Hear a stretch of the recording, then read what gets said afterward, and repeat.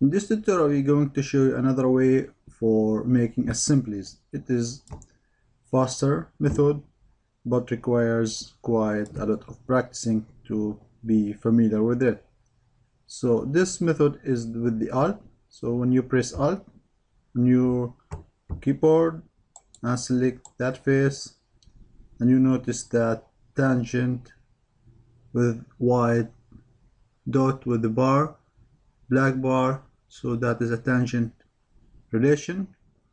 So when you are moving your part to the place so you can notice that you are creating a tangent relation.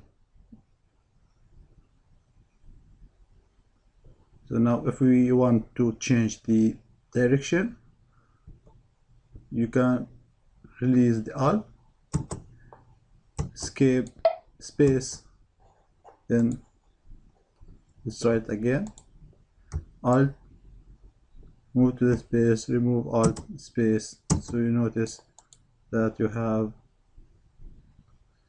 choices to choose between then it's done.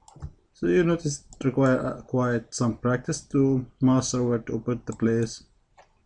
And let's select that surface pick alt and now with the mouse you notice that the mate relation. So this is the idea how you can select or fastly make a mate with the alt key